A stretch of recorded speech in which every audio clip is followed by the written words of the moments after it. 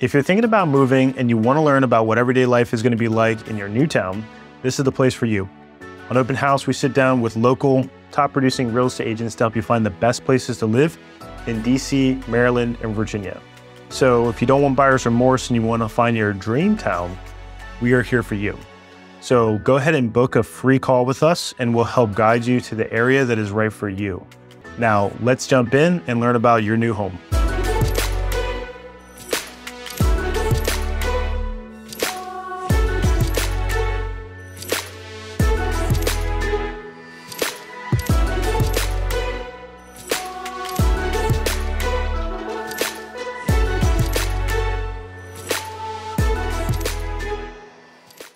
Hi, this is Mike with Open House Media, and if you're ready to take a deep dive into what it's like to live, work, and play in Richmond, Virginia, then you found the right video. Because I have Sandra Francisco with me, and she is a licensed real estate agent who knows all the ins and outs of the city and is ready to help us see it from a local's perspective. So, Sandra, how long have you been a realtor? I've been a realtor for 30 years.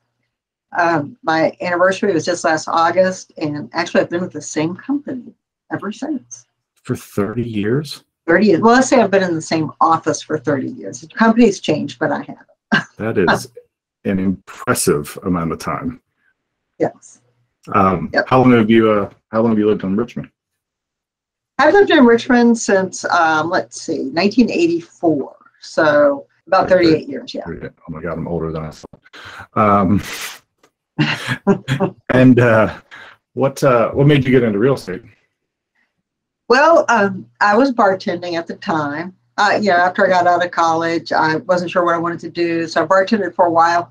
And then, you know, everybody was smoking at the bar. I had to get out, so I started thinking, what do I do? So I wanted to do pharmaceutical sales, but they all wanted more experience, more outside sales experience. We had a lot of realtors that came in for lunch um, at the bar, and I talked to them. And there was one guy in particular, and he kept going, "You would be excellent in real estate.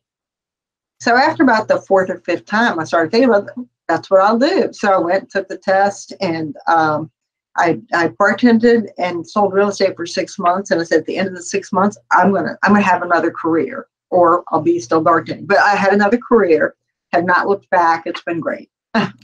Uh, kind of interesting that that one rando at the bar has has made a profound difference in your life in that in that capacity. Well, yeah, but there were you know there were others, but he was very persistent and um, super nice guy.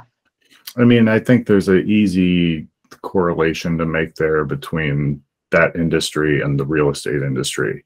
You know, you you you need to be friendly, you need to be personable, you need to understand sales, and all those things are very overlapping. So Right. that, that that's a that's a pretty common pipeline. Uh, the Mhm. the service industry to real estate pipeline because there's just so much overlap. Just selling something different, you know. Right. Right. Exactly. So uh, Richmond, um, I, I would describe it as a, a, a medium to large city. Uh, yeah, about a medium. I think the um, the population for the city of Richmond. I looked it up the other day. I look at my notes, and it was like Think it's like 1.3 million in the metropolitan area. So um, you know, Richmond has you know maybe a third of those people, but uh, but it's it's a smaller. you know, I, I find that, that to me, Richmond is, you know, I think a lot of your larger cities uh, kind of all feel the same. Um, Mhm. You know, it's if if you go to um, Chicago or DC or Baltimore or Philadelphia, you kind of get the kind of the same feel in a lot of areas of those cities Uh-huh. where it's just it's a large city. Um, I, I've always found that Richmond is a bit more personable and kind of unique than, Mhm. than a lot of those. And it's probably its size, but it's also probably a byproduct of of its age and the history there. We have a race um, every year, and it's a, a 10k, and it's known as the friendliest race in the world, basically. So because there, people are out there, they're just you know they're they're clapping you on. We've got music stations everywhere, and uh, it's a fun race to participate or to watch. I mean, it's great branding. Oh yeah, Yeah. to You know, you know, like, oh, what? I've never done a race before. Which one should I do? Well, have you thought about the friendliest race ever? Friendliest race. That's right. So when it comes to the city itself, um, you know, I'd imagine there's a lot, there's a lot of businesses in the city, a lot of probably contractors, corporations, things like that that are that are pretty obvious. Um, is there is there people commuting from Richmond to like a DC or Yeah, There are a few, not a lot. They have, um, you know, a lot of them are um, are ride sharing. There's also a train that goes from um, Ashland to DC, basically nonstop. And um, but you know, you do have some because they, they have articles in the paper about them. I don't know any specifically that do that, and there's some that travel, you know, just everywhere. But there are some people that actually, you know, go to go to DC or Northern Virginia every day to, for work. you know, it, depending on the time of day, that can be a drive. That's a real drag. and it would be those times that you're going back up there and back. Yeah, probably the times that you would be commuting there. How how long does it take if you're going not during rush hour? Obviously, how long would you say it takes to get to DC? Oh, you can get to DC, you know, depending as long as it's not rush hour, you could get to the DC area in about two hours. So, but you know, if it's if it's rush hour or there's an accident, you could be looking anywhere from two hours and fifteen minutes up to five hours. Five hours would be the accident time, definitely. The accident time exactly. So, is there any? I, know there's, there's some. Is there any larger industries in Richmond? in Richmond, we've got, um, let's see, uh, Altria, we've Hmm. got Genworth, we have uh, MeadWestvaco, we've got Capital One, Oh. we have uh, what's the car? CarMax. Um, Legos is getting ready to come into town, and and when I say come into town, it's not necessarily Richmond. It's it's a Richmond metropolitan area, but it Sure. affects all of our area because they're all bring you know they all bring jobs and stuff lots of big corporations. Richmond's not a one industry town. We've got tons of industries that keep us going. So our economy tends to be a little bit better than some of our neighboring places like, you know, Pittsburgh or because they're, they're steel. But we've got so, we're very diverse here, which is nice. Yeah, and that always kind of it, it almost it it insulates you from an economic standpoint, being a little more diverse than Uh-huh. being reliant upon one particular industry. Oh, yeah. Yeah. What are uh, what are the big schools in the area? big schools, well, colleges, you know, in Richmond, you've got VCU, you've got U of R, University of Richmond, uh, Virginia Commonwealth University. You also had Virginia Union University. We have some great um, community schools as well.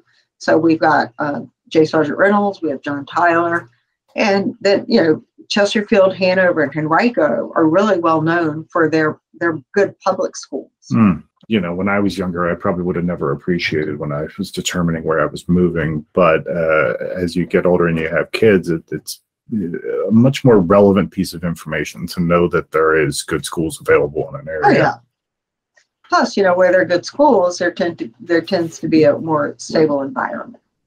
Yeah, So- yeah, yeah. There's definitely other things that kind of go along with that, which Mhm. is, which is why the kind of the good school thing kind of covers you in a lot of bases. You know. Oh yeah. Well, you know your house. If you're in that school district, you know your house is is gonna it's gonna appreciate faster and Yep. whatnot. So I've been to Richmond a lot. I know the places I like to partake in, uh huh. but I, but I don't live there. So when when it comes to what you would choose as far as entertainment in the the restaurant bars that realm, what would you say? Oh my gosh, we have so many. Richmond's a foodie town. Yeah. So you can go. I mean, the fan has probably got just. It's probably the, the best place to walk around, and you there's restaurants on almost every block. Very community oriented, um, and and the fan's an older area, so you know it's got a lot of history to it too. So you've got the fan, you've got Shockoe Bottom, Shockoe Slip. They've got great places to eat. And even just in the suburbs, you have a lot of uh, locally owned restaurants that are just super.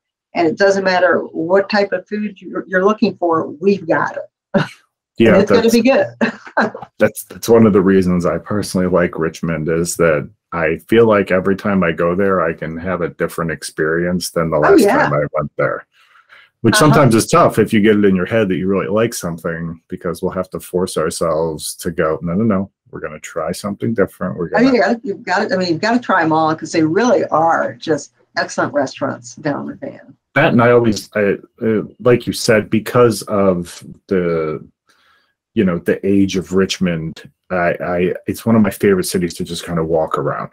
hmm because everything has this almost you know nostalgic historic feel to it Right. where it's just uh, uh, it's it's a really cool environment hmm and just from an aesthetic standpoint you know Oh yeah. and and being in virginia i'm sure there's probably you're probably not far i mean i'm sure the city has a tons of, of breweries and stuff like that but you Oh, yeah. probably you probably wouldn't have to drive that far outside the city to find some wineries and things of that nature Oh no, no, they're all, you know, within 30, 40 miles, you'll come across a lot.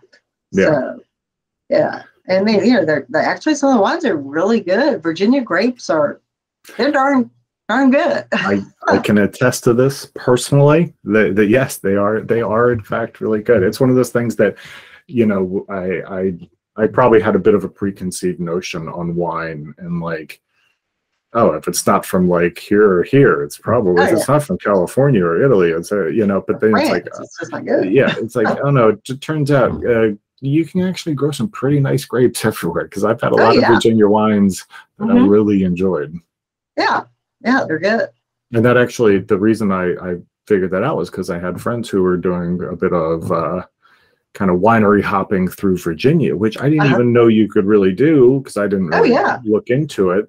And then I said, well, that, that seems like a fun day trip for me. So, well, yeah, we ended up going to a couple, and it's like, oh, wow. I now, to be fair, I've never met a glass of wine I didn't like by the end of it, but I don't know.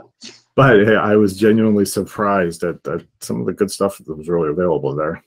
oh yeah.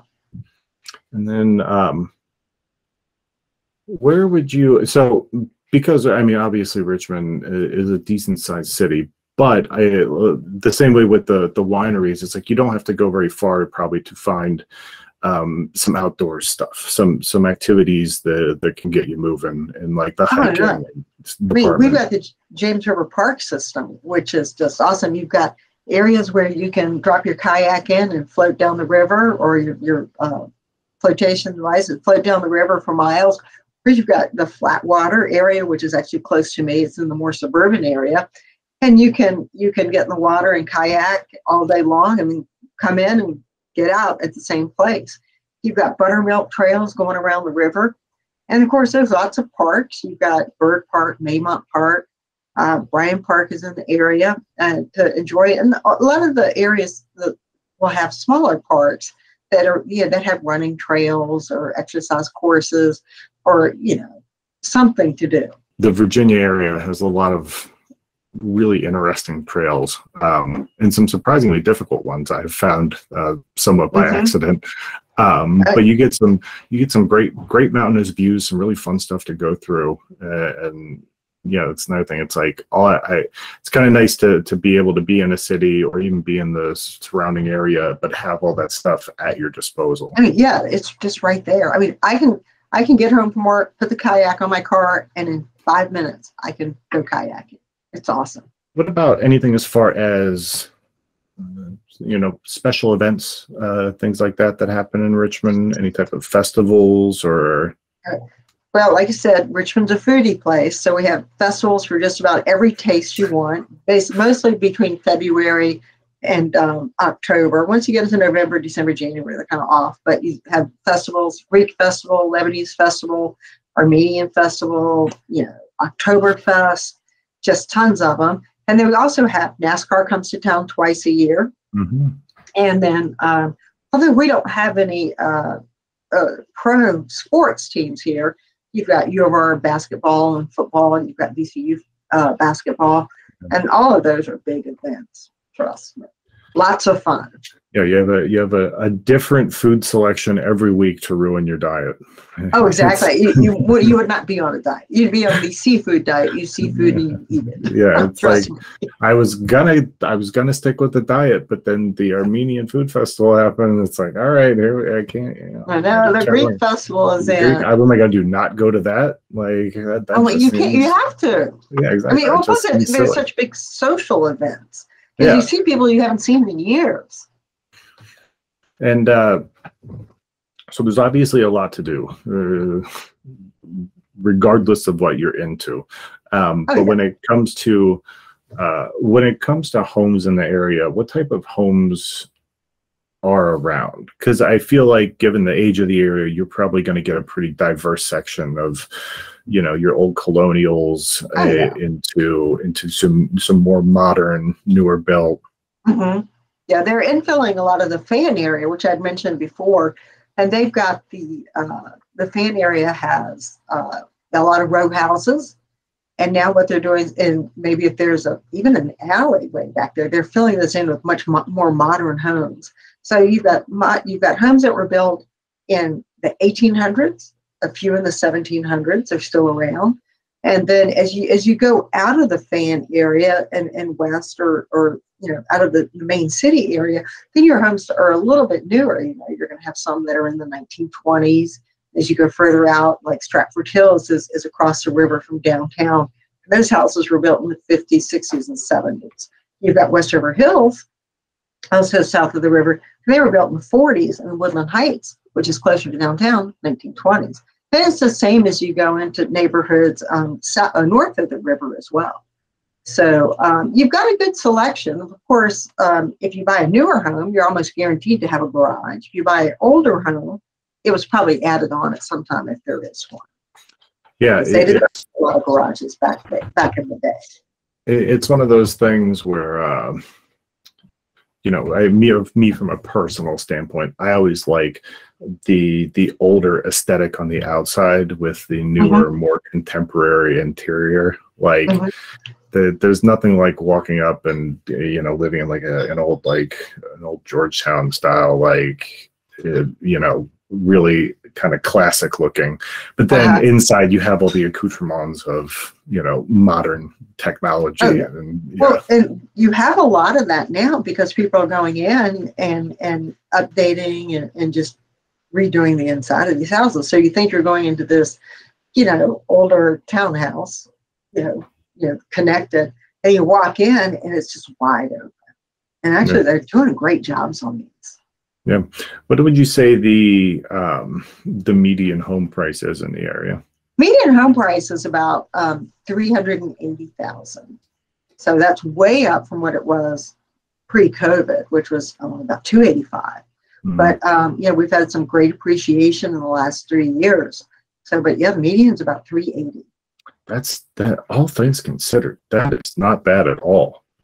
No, I mean you go to Northern Virginia, where is that 600 yeah yeah exactly yeah. You're, you're in suddenly you're at six seven hundred and and probably not getting the same amount of house i know either. and you're much smaller yeah and, you know, and a lot of times it depends on what area of town you're in you know the west end's going to be super expensive the south side tends to be a little bit more reasonable but i mean there's some areas that are still you know they're just um, we're still getting multiple offers on some houses and we're still getting tons of if you're in the city, it's really the city is super hot right now. What do you say the median income is for median? Now I had to look that one up, and that was about 50, I think they said it was fifty-eight thousand. Okay. Uh, for the last the last time it was it was done about fifty-eight thousand for the area. That that was a median. So um, yeah, that, that, that that probably seems about right. That probably tracks with relation to you know when you think about the 380k. Uh, that actually, yeah, right. That probably know. falls in line there. Uh huh. Yeah. Um, now, when you say that like 380,000, how much home would you say you're getting for something that, relatively speaking? Yeah, and it would depend on the area. In the city, you, I mean, that could be a 1,200 square foot home, yeah. no garage, but updated and nice. Um, but if you're going outside the suburbs, you could get an 1,800 square foot home, three bedroom, three to four bedroom, two and a half baths, and a garage. Um, you know, and, and you know, a quarter acre, give or take a little bit.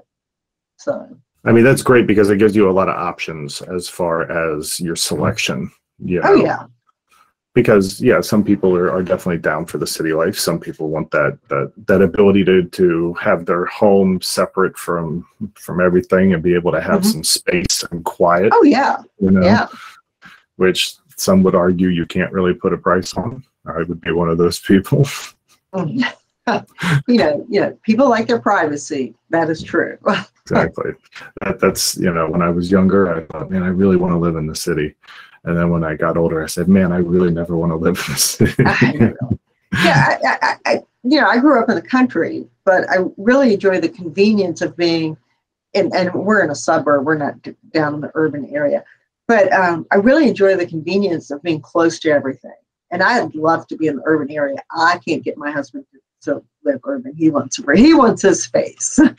so that that's that's one thing I love is that proximity, like you're saying, because you know where where I live, being uh, you know about an hour from DC, it's Uh-huh. great because you know I've got my piece of land and I have my peace and quiet, but I know that in just an hour I can I can be in DC and anything that I want to do I can do. You right, know? right.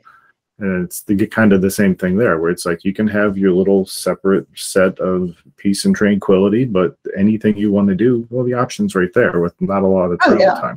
And, you know, one other good thing about the Richmond area is we're about two hours from everything. We're two hours from the mountains, two hours from the ocean, and two hours from DC. So it's kind of, you know, we're just centrally located. So it, you know, great day trips. Even if you don't want to stay in town, take a day trip. Yeah, you could just look at a map and treat it like a clock, and you could just go around like, all right, this weekend we're going here, and then Here, here. it's two hours. all right. Well, if you could give one piece of advice to a buyer before moving to Richmond, what would it be? Be prepared. Um, you know, even though we're having to slow down the market, you know, because of economy and and just you know, people got tired. Just be prepared because um, you know, talk to your lender, talk to your uh, talk to you know, make sure you're you're set that way. So that's the big thing for buying a home. But just to, to come to Richmond, just you know, be ready to have an adventure because there's so much to do in Richmond. There's something going on every weekend. If you're bored in Richmond, you're not paying attention. Yeah, it's one of those things where, you know, you sit around and you go, well, what are we going to do? And it's like, well, whatever you'd like. Yeah, I know. Really. Do you want to eat? Do you want to play? Do you want to watch? I mean, we've got great theater. We've got we've got a lot of great musicians in the area. So there's always something to do. Yeah, and that's the, that's you know you never want to feel bored in an area like that, and I, and I, I as much as like I I love Richmond myself, so I I know Uh, that that would never be the case. Oh no, there's always something to do. Trust me. Excellent. All right. Well, I'd like to thank you for being here today and answering these questions to give us a feel for what it's like to live and enjoy our off time in Richmond. Um, if you're interested in moving to Richmond, then please see our contact information below the video and ask for Sandra, and we'll be able to arrange for her to give you a call as soon as possible to help facilitate your looking at some property or maybe thinking about getting into Richmond. All right. Thank you so much for being here. All right. Thanks so much, Mike. Take care.